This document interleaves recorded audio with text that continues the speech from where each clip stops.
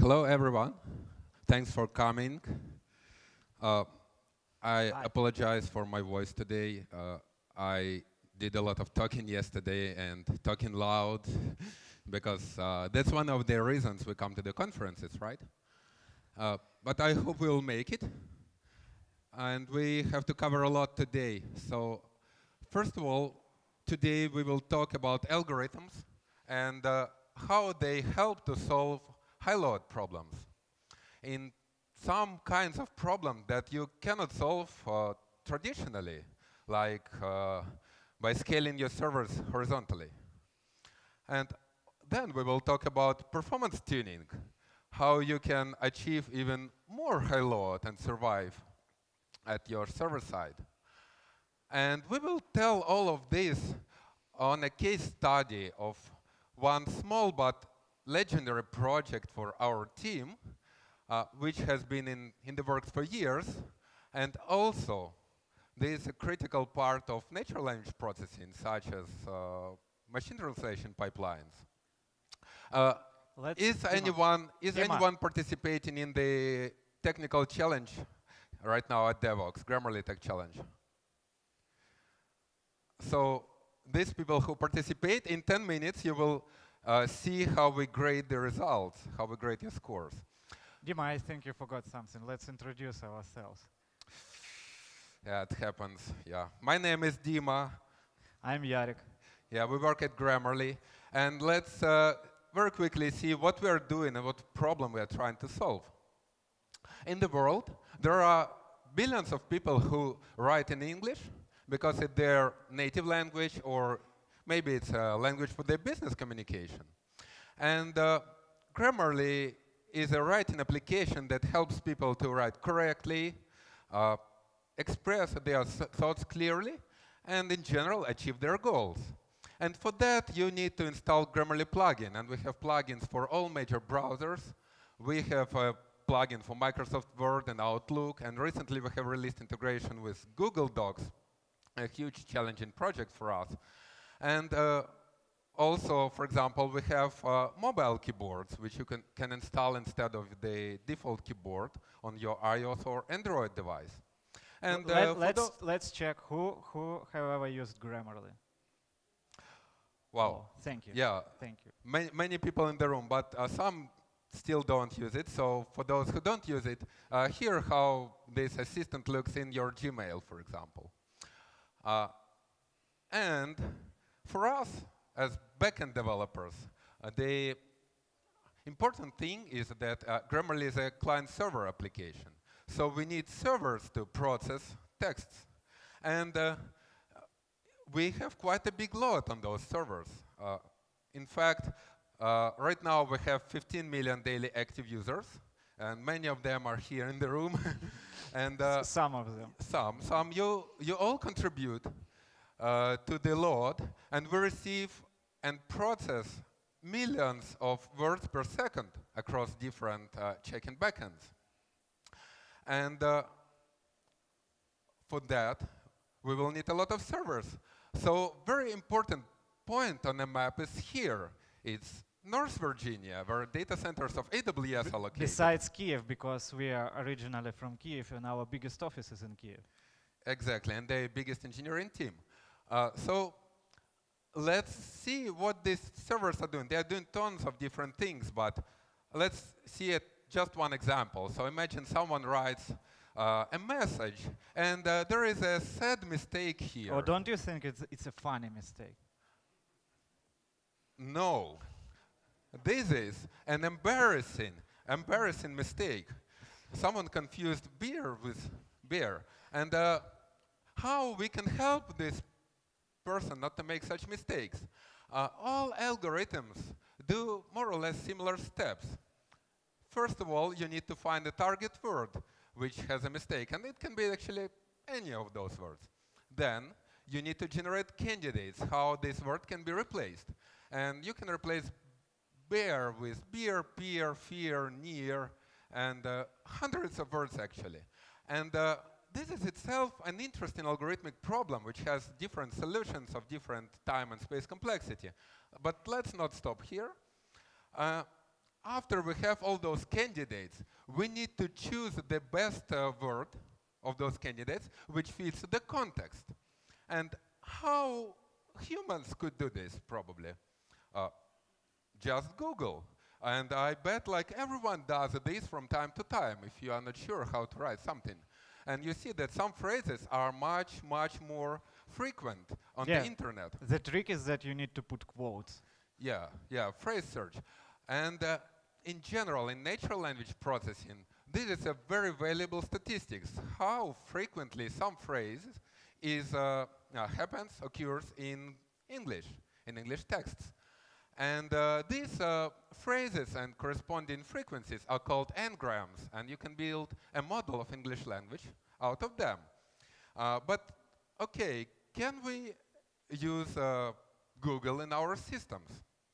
Probably not, because as I told, uh, we process millions of words per second and we need to evaluate many candidates for each word, so it's like tens of millions of requests, uh, of similar requests. Uh, Google will immediately ban us if we try to use it. And uh, probably we cannot use also Elasticsearch or some uh, Cassandra, for example, because they are not suited for uh, these uh, like type of query of tens of millions queries per second, and also it would be really impractical. Maybe it will cost too much for us. So uh, looks like we need to come up with our own server. Yeah, and it's a great example of the task that our teams face from day to day when uh, we start from from the whiteboard, when we start from just blank piece of paper, and all we have is just uh, a task that we need to solve from our own, from scratch. And uh, but this task is looks uh, really a lot like uh, algorithmic interview. I think a lot of you have been ever to, to algorithmic interview on one side, on another. So you probably seen something like that. You have input, which is a list of the words. Like Dima mentioned, they are called n-grams.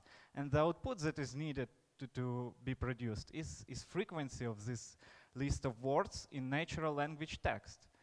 But this task has a very interesting uh, feature because uh, all possible inputs and all possible outputs are known beforehand. We can take lots of uh, lots of English texts from the internet or elsewhere and calculate frequencies for all of them. So the task really is to uh, look through the list of all possible inputs and find the output. That's all. And I think uh, like everyone in this audience already have some kind of solution, and me as well, obviously. This solution, uh, the first solution I have is called hash map, and it's just three lines of code. You need to define hash map. You need to take uh, a frequency from that, and you need to output it. And that's all. It works. Hold on. I think you forgot one important question that people forget to ask. Yeah, people forget to ask it in everyday work and uh, often in interviews as well. So usually the task uh, is not the only input and output, but also some limitations. Yeah, so what are the limitations for our task? Uh, this is a good question to always to ask. And we have very hard limitations uh, because we have very many n-grams. We have huge data set. Uh, I even don't know how many n-grams uh, we have at Grammarly, uh, but uh, a few years ago, Google uh, released a data set of n-grams, and it had uh, 2 billion n-grams, and it took over 24 gigabytes in the compressed archive form. And if you unarchive it, then it has like hundreds of gigabytes of data. So yeah, the data set is huge. So if you remember uh, how hash map works, you probably get that we need to store all these n-grams in memory. But even mo moreover, uh, what happens when we uh, try to put some n-gram in hash map?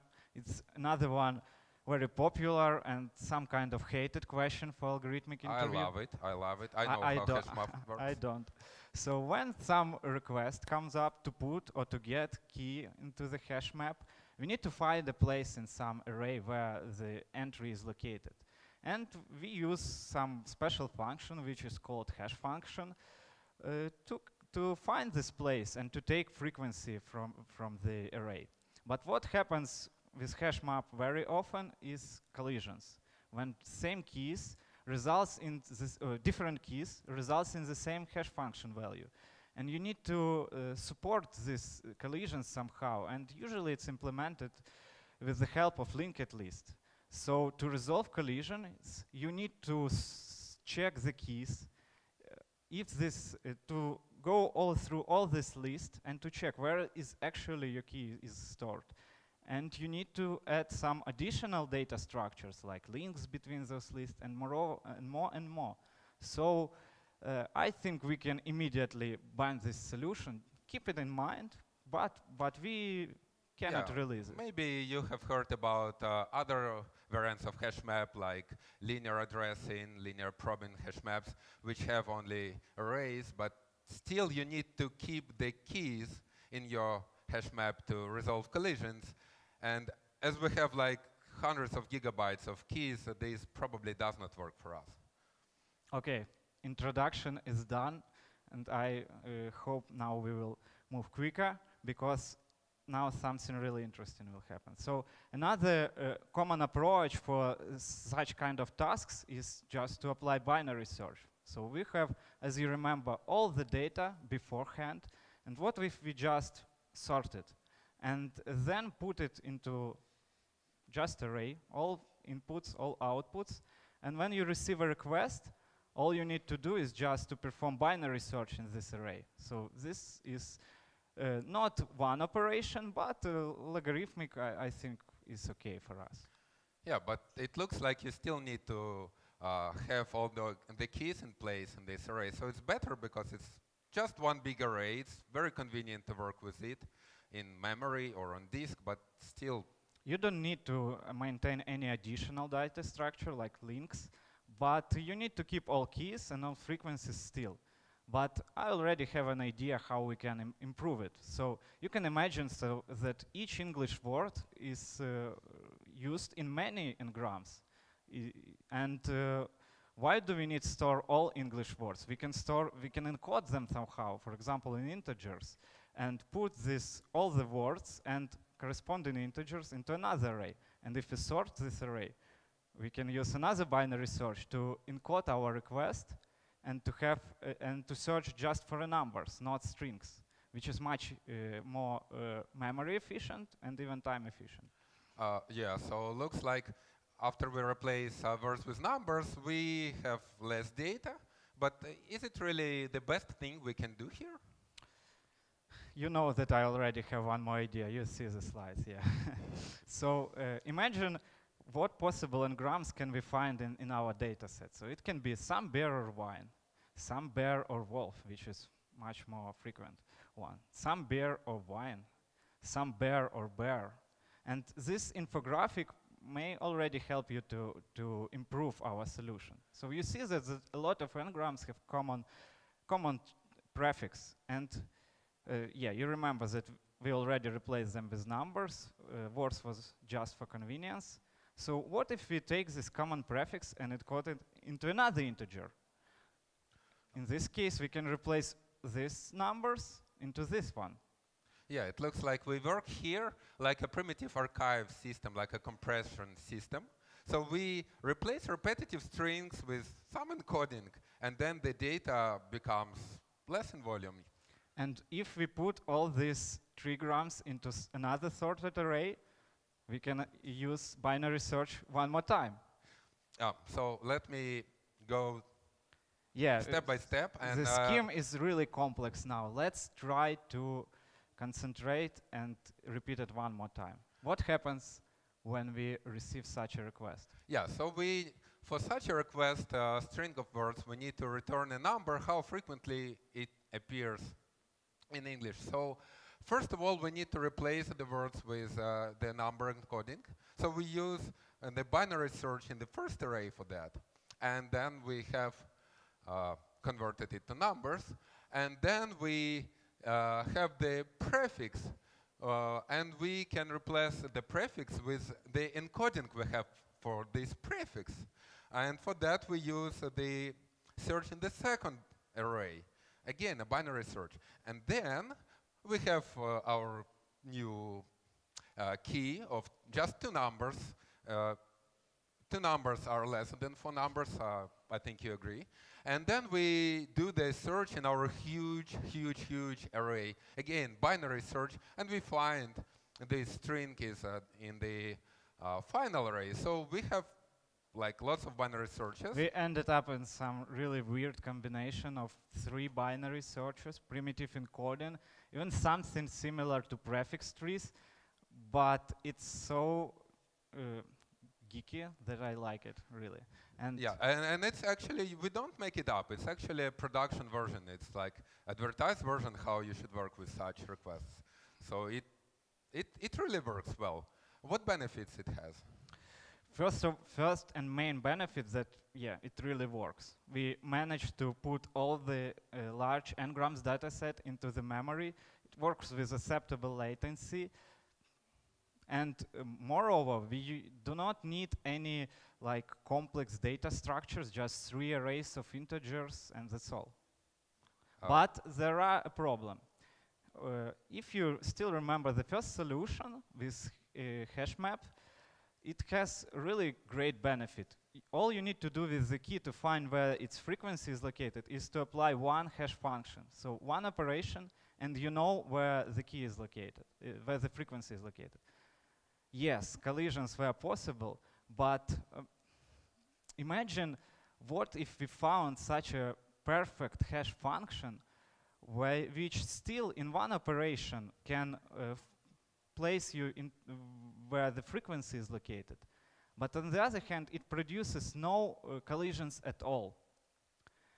And our team, in such uh, desperate dreaming situations, we have just two options. To go to drink a coffee together is one. And another is go to the library, take this famous CLRS book, O'Corman, which is always famous name. Uh, first time we took it actually off the shelf, yeah, sorry. I have a question. Have everyone ever read it? wow. wow. great. So uh, the cool thing is that this book, it actually has an, the chapter which is called perfect hashing, which is uh, just by name is something that we need. And another thing is that this perfect hashing, it has only one requirement for implementation. You need to know all the keys that you need to hash before you make your map with this hash. And if you still remember, it's exactly our case. We have all the keys, we have all the frequencies, and now we will try to learn together using this book and us as mediators how to build such a perfect hash.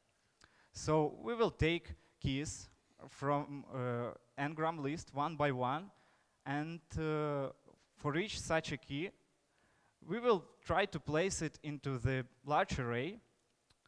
Uh, we will try to place the frequency of this key. And how we will use, how we will find this place, we will use uh, one special hash function, which is called murmur have ever uh, anyone use it or know about it?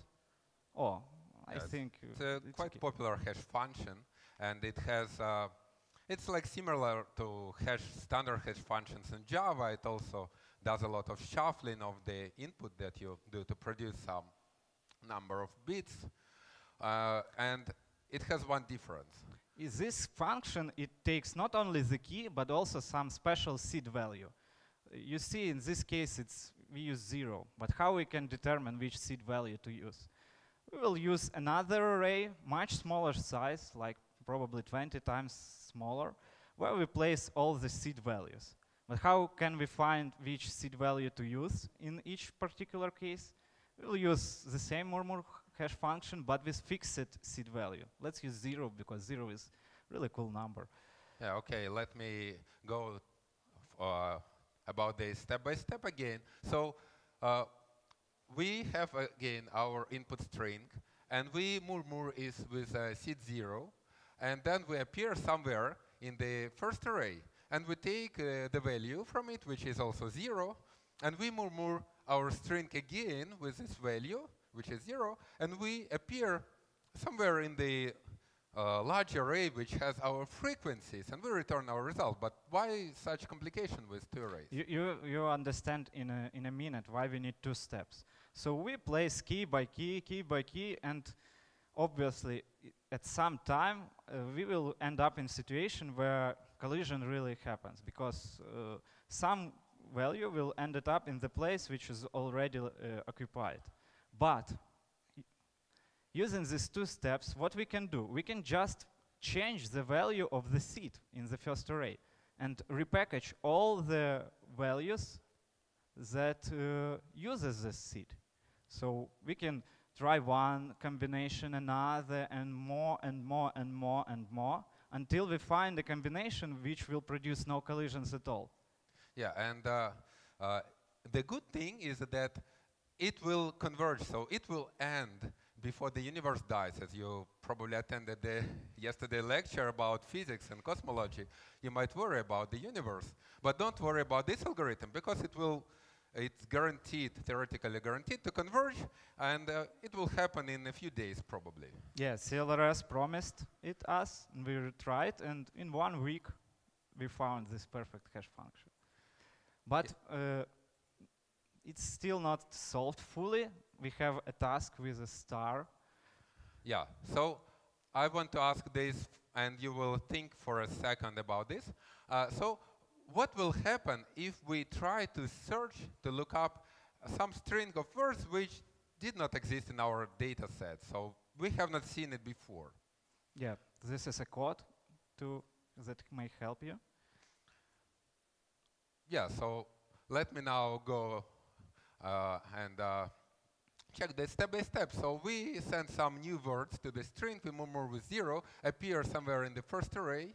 Then we take the seed from this array, again murmur it with our string, appear in some cell in our, and return some result, yeah. which is 28. But it, this is just wrong, wrong result. Return zero Probably you notice that we do not store the keys in the array of frequencies, just frequencies, which is really cool feature of this algorithm because we save a lots of memory because we do not store the strings at all, even encoded.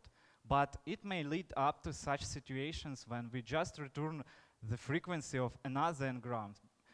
And uh, uh, there was no collision when there was no collision when we built it because we do not know that such n-gram may exist. But there is a very simple solution that can fix it. So why don't we just uh, store not only frequencies, but some kind of checks, checksums? And for two different values, uh, the uh, collision is really rare. So one, just one integer may be enough to resolve all the collisions. And uh, happily for, for the checksum, we can use just murmur one more time. So where we ended up, we combined both best features from the first solution and from the second solution. We have just three arrays of integers, and it's really memory efficient. And moreover, we have a very simple algorithm. Just not three lines of code, but three hash functions, and you're done. We can implement it in half of a day, and for another half of a day, the release will happen, yeah? Yeah, yeah. Or we'll go for coffee. So uh, now uh, the first takeaway is that uh, now you know about perfect hashing, and not many people know about it. So you learned something really uh, powerful and uh, surprising. And uh, for us, this means that we can build a simple server of these several lines of code. And we build it in Java. And the most interesting question is, how should we operate in Java with such big arrays which have uh, tens of gigabytes of data. And uh, the common technique for this in Java is off-heap uh, memory. So we uh, have these arrays in files on disk, and we load it using operating system memory mapped files into memory. And then from Java, we access these files using unsafe operations, and uh, it works like uh, they are already in memory, and you just have access to huge array. It works And- until Java 10 is released or 9, I, I don't remember. Uh, we have Java 10, it works still. Uh, uh, so the question, uh, how do we connect to this server? So we use very simple TCP socket. Uh, just open TCP connection and start sending strings, and in return, we receive numbers. Uh, we deploy this server on AWS. As uh, I said, we uh, need uh, tens of gigabytes of memory, maybe even hundreds. So we use uh, memory optimized instances which have extra memory. And just a couple of such instances on Amazon, they can handle uh, millions of requests per second, especially if we send the n-grams in batch, like 100, 200 n-grams in batch together and receive a batch of numbers. And uh, this works really well for us for some time uh, until we get more users and more queries. And uh, the latency just just rises a little bit, a little. And we have like cascading failure on all other clients of this system. And we receive alerts. And what should we do? My suggestion is to add more servers and go for a coffee. Uh, okay, yeah, let's add servers because Amazon has many servers. And uh, yeah, it works. We always do that. And then we have more users again, and we scaled not only servers, but we sc scaled also fires in production. And then some other people come to us and say, uh, well, uh, your server is just kind of convoluted hash map. Why is it even slow? And uh, here the story about performance debugging begins. And in our team, we have uh, found several approaches to performance debugging which work for us. And the first approach is uh, do a random guess. Uh, and oh, yeah, it's Java slow. Or you need to increase TCP buffer in Linux. Or like you need to switch to epoll. Uh, and uh, in general, you will not guess correctly. And this is an anti-pattern, but everyone starts with this when they start performance tuning. Uh, the better approach is benchmarking. Uh, you create a load test and you put your system under the load, and you try to like load until it breaks it, until it cannot sustain more load. And there is a very important thing here. You must look at what resource is saturated, why it cannot handle more load. Because if you don't look, you will jump to some wrong conclusion, and it will be the random guess again. And I will see you later why. And uh, also, the third approach is just to launch all the tools that you know or might have heard about in your operating system, and just to look what these tools showed to you, and maybe uh, something will give you a hint what's wrong. And uh, I have a very important disclaimer about performance benchmarking as we approach some uh, benchmarking of different systems. Uh, it's a very common situation when you uh, launch a server, you uh, run a load test, and you observe that system is like significantly slower than usual. And immediately someone clever comes to you and says, okay, yeah, I know why. But the interesting thing, the next day you run the same server on the same load test, and this does not reproduce anymore. So why is this? Uh, of, of course, because you run on AWS or maybe in other cloud environment. And uh, uh, of course, like you don't have a dedicated server. Most likely you run on virtual machine, and there are virtual machines of different users which run on the same physical uh, server. Uh, together, and you cannot control that, and you cannot control network congestion, or uh, I don't know other conditions. Weather in, in North Virginia is bad that day, so there is a significant performance variability when you benchmark, especially in your cloud. And there are different ways how you can fight with it, like uh, do statistical analysis, run many, uh, you test many times on different virtual machines, uh, A-B testing, or maybe you should uh, measure Go- not only requests per second. You or can maybe handle- you can go for a coffee one more time. Or if you don't want, let's just develop new features, not but not this. Yes. So let's not let's not do all of this, and we just need to accept the fact that your performance variability is like 10% by chance. Uh, that also is important to know. And as long as I'm talking about uh, data center, uh, here is a typical the stack of your data center in the cloud uh, with which you work. Uh, and on top of it is your application and your runtime environment. And here is where most performance gains happen. Uh, because uh, you, for example, can write your server not in Java, but in uh, Golang or Rust, or you can use a better algorithm for your task. But in this case, the perfect hashing is called perfect for reason. We do not have We, we are set with uh, algorithms, but uh, let's uh, face the truth. Like we have been developing this server for like two days, and it's probably not as optimized as Nginx. So there is a lot to work on. Below your server is the operating system which you run in your virtual uh, virtual uh, environment in your cloud. And probably you cannot gain a lot here, uh, but here are most of the tools which were mentioned previously, which you can uh, debug your performance. And below is the level of hypervisor and the uh, hardware in your cloud data center. And you don't have access to it, uh, but here happen most of the innovations.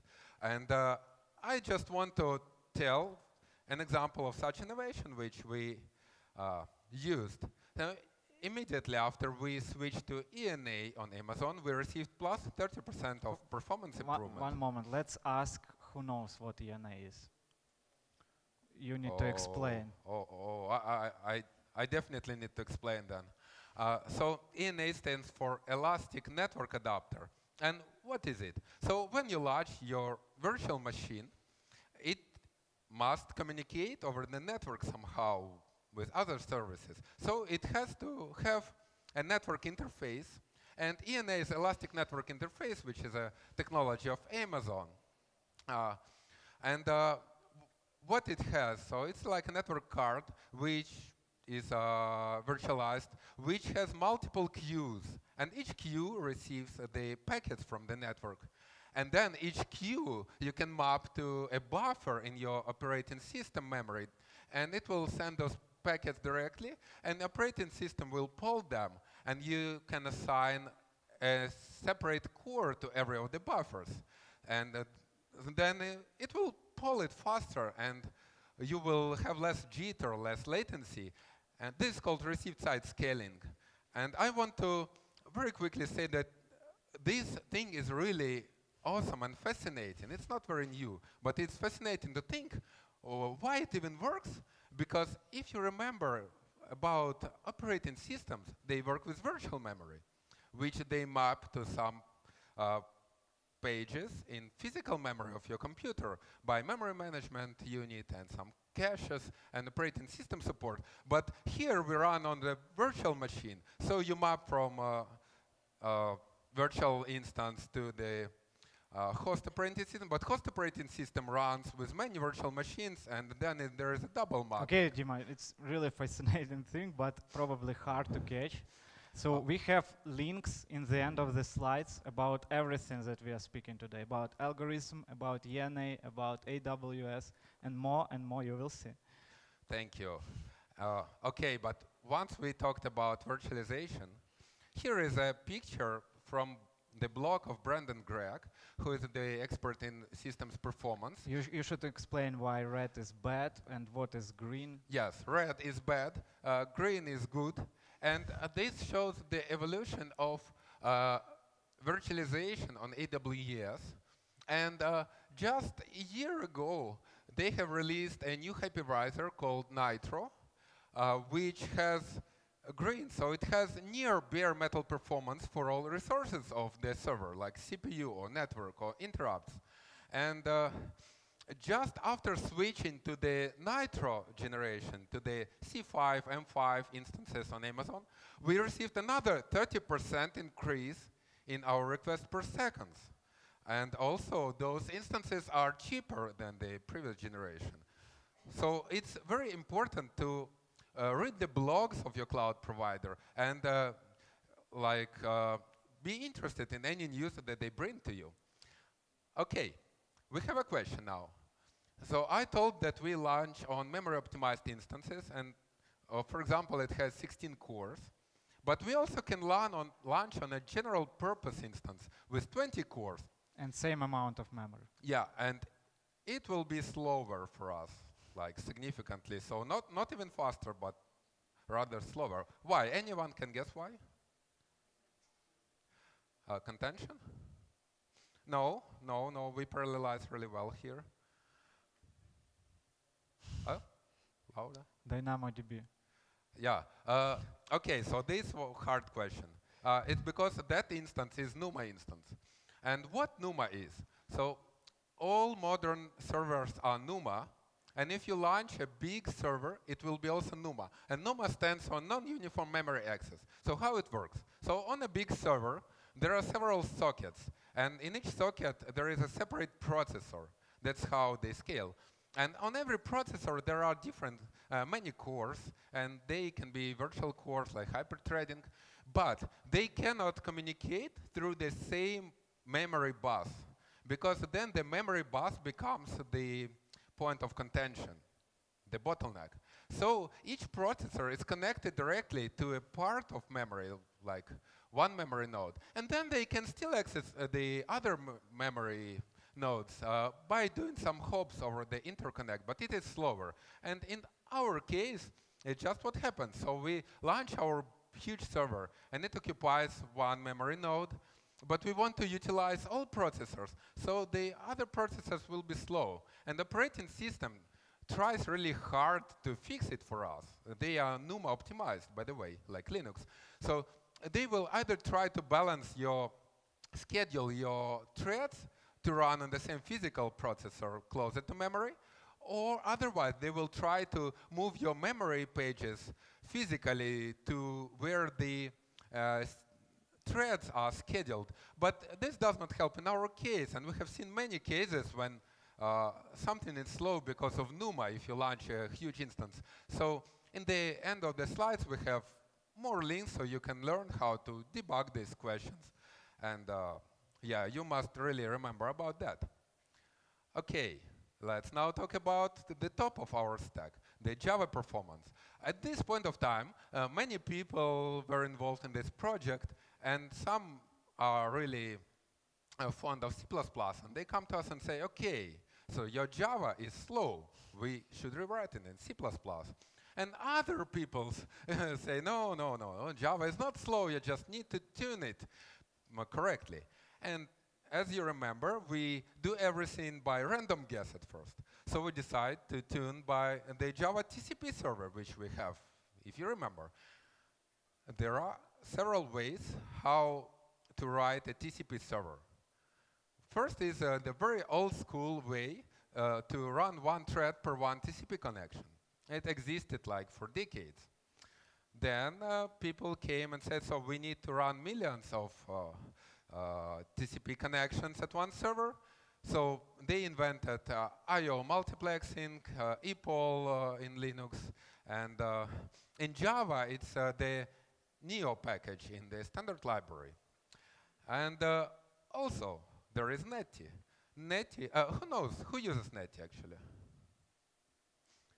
Uh, those who did not uh, raise hand, probably you still use Netty, but you don't know about that, uh, because Netty is a default uh, library for networking, so it's uh, used in Cassandra, in RxNetty, in Vert.x, in many, many other Java projects. And it's really heavily optimized, like using JNI, for example. It has another approach on non-blocking I.O. So and uh, of course, we decided to rewrite uh, our server with Netty. It's so good. So who thinks the server becomes faster after that? Yeah, some people think. Who thinks that uh, thread per connection is still like the best in 2018? Uh, Uh, same people. no? okay. Yeah. So for us, for us, no difference. No difference at all. Uh, why? Because we don't uh, have millions of in incoming connections. We actually open long-living connections, maybe a couple of hundreds, and then use them for a couple of minutes. And uh, it does not matter on the modern hardware and modern Linux optimized for such use case. And we have a link about that uh, of one uh, blogger who recently tested this as well. Uh, so if we fail so miserably with Netty, uh, but we have one more, one more solution. we let's take a look what our server is actually doing under the load. And again, uh, who knows what this uh, tool is? Shout out.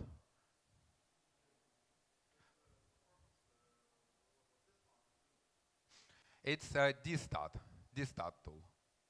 Uh, very nice interface, very convenient tool. So we see here that under the load, our system uh, spends most time in user space, in doing something useful for us. And also we have uh, a fraction of time in system uh, uh, kernel and uh, in the deferred interrupts because we have to process network packets using all those receive side scaling processors, as I said. But we do something useful and how we can look in our Java application and see what we're doing. And there is a very good tool called Async Profiler, uh, which you can find on GitHub. Dima, I, I think this slide is not readable at all from the distance. Can you improve it? Okay, I'm improving it. So, Async Profiler. And uh, in, in just three minutes, uh, Believe me, in three minutes, uh, you can build a flame graph using this tool. And flame graph is an awesome visualization of what your program is doing in the call stack, so where it spends time. And we see like below there is a, a long stack of native uh, functions, but we don't uh, waste any time there. And where we waste our time? Here, 30% in the perfect hash function. And uh, we could expect that because all our server is doing is calculating those hashes, as we told you. So we are some kind of crypto farm. Yeah, and we, we don't uh, get richer by that, but we calculate many hashes. And uh, it's good that we now know we need to optimize this. So flame graphs are really awesome, awesome tool.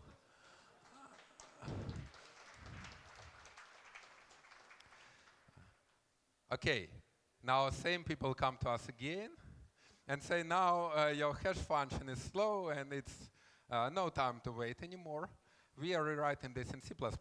And really, the server is slow, and in C++, there are also good networking libraries like Boost, ASIO, for example, uh, or thread per connection always works, as you see. And uh, okay, who thinks that after you write in C++, it gets two times, two times faster? I think. Uh, no, no one.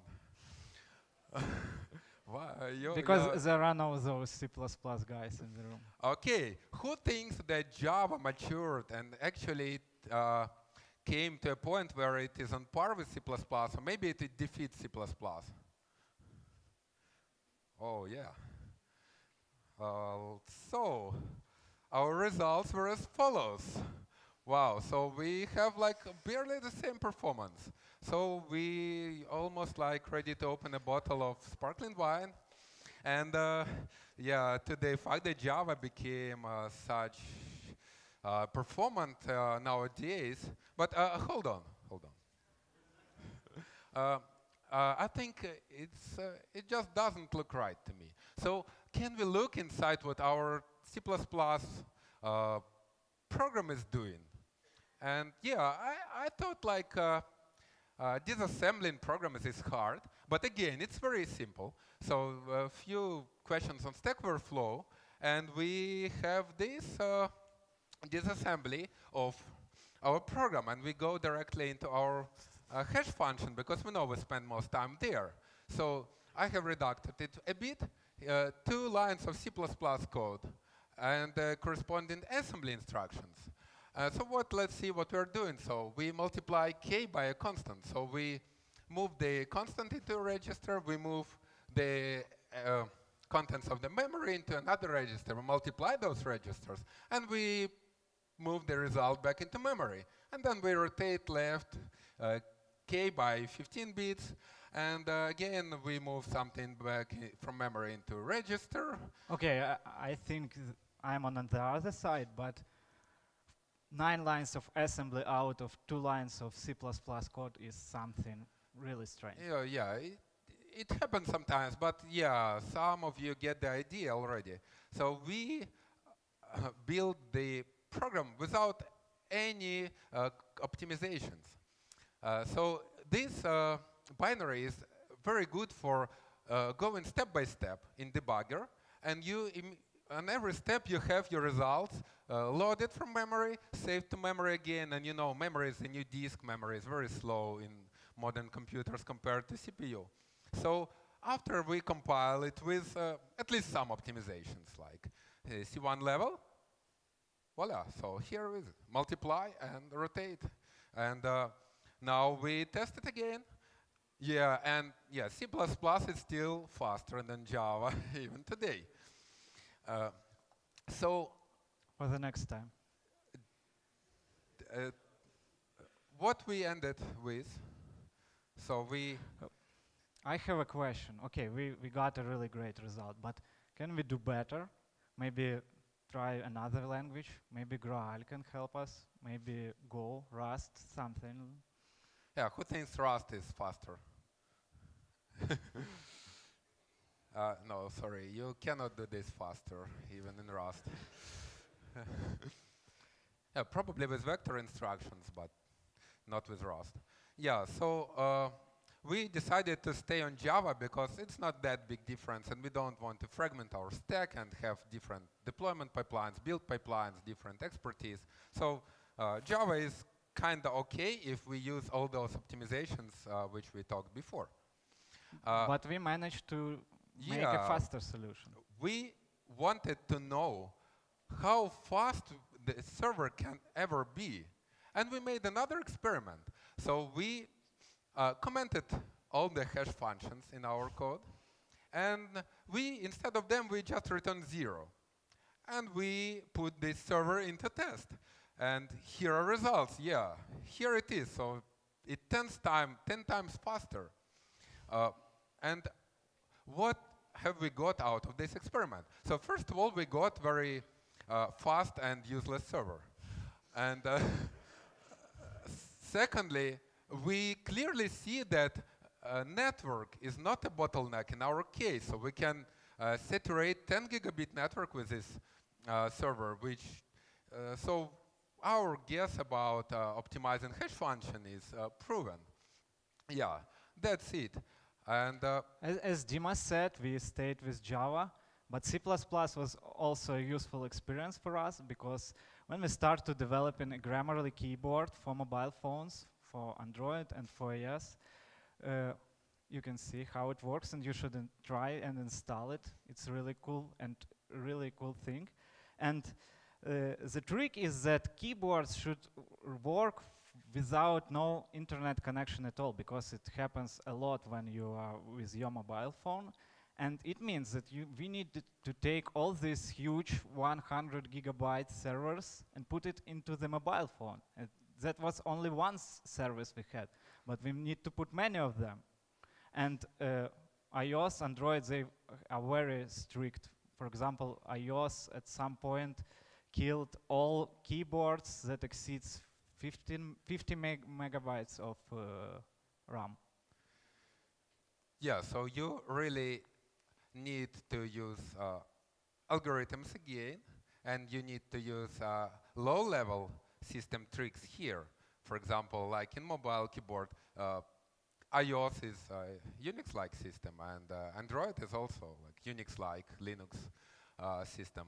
So you need a lot of tricks which we discussed, but now in your device, you, which you cannot, you cannot scale it. You cannot launch like many mobile phones. So uh, what are the takeaways? What were the takeaways for us from this project, which uh, happened over the years, actually, and uh, which we can share with you. So uh, uh, if you're like a happy Java developer, you will be more happy and productive if you have algorithms and you have some low level under your belt.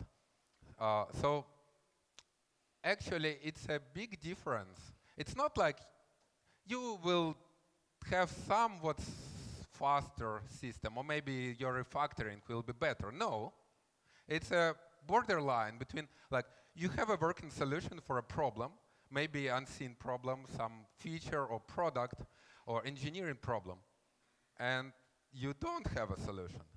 Uh, because, like, if you have a little algorithms and uh, low-level skills like C++, assembly, uh, operating system, network uh, protocols, you can Google the rest. You can search in the Stack Overflow. And if you have no skills, then uh, you don't know even how to Google, what to ask. You don't have any idea, and you don't even believe that something is possible.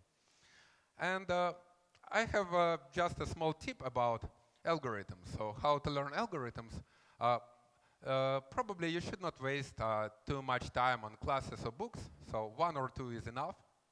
But instead, you can participate in the programming competitions rounds, such as top Topcoder rounds or other competitions. And just uh, on the novice, beginner level, and you can invite your friends also to participate in the same rounds and then discuss those solutions. And it is very good motivation how you can very, very quickly expand your algorithmic skills. And uh, also, I have a number of takeaways about performance and benchmarking. So first of all, don't guess, always look inside. So for example, when we compare Java C++, I thought that C++ is faster because it has, it's using SIMD vector instructions, uh, and Java does not. And I even started like reading about this. But when I look in the assembly, I don't see any instruction there, like vector instructions. So do not leave any assumptions unchecked. Uh, then uh, when you do a load testing, always check what resource is saturated. Uh, for example, I launch a huge server on Amazon, and I uh, launch our application, uh, n-grams. And uh, it does not show the performance improvement as uh, big as uh, the server is bigger. And I see that my CPU is underutilized. So I can actually what, what I did. So I gave a little more room to the garbage collector. And after I see the CPU is utilized, uh, everything is okay. But some people just, just stop and say, okay, it does not work. It just uh, does not scale. No, you need to look what resource is saturated. It can be memory, disk, uh, network bandwidth. It can be garbage collector. It can be some exotic things like interrupts, for example. But yeah. Then you as I told you, must measure variability because your results may be uh, different just by chance or by time of the day, for example. And also use these awesome tools like dstat or async profiler or flame graphs or many other tools. And there are blogs and uh, people who love those tools and they tell a lot about them. And that's it. We have a lot of references in the end, which you can read if you are interested in these topics. And thank you very much. Come to speak to us at our Grammarly booth. We will be uh, wrapping Let's up ask who, who, have visited our booth at the conference. Please come. come. You still have time. Almost everyone uh, from our backend team, Java team is here. You can ask questions. We will answer them, all of them. And moreover, we have a competition which will end in an hour, and we will present the best results. I think it will be interesting for everyone. And the last thing, we have stickers, really cool stickers. okay. Thank you very much. Thank you.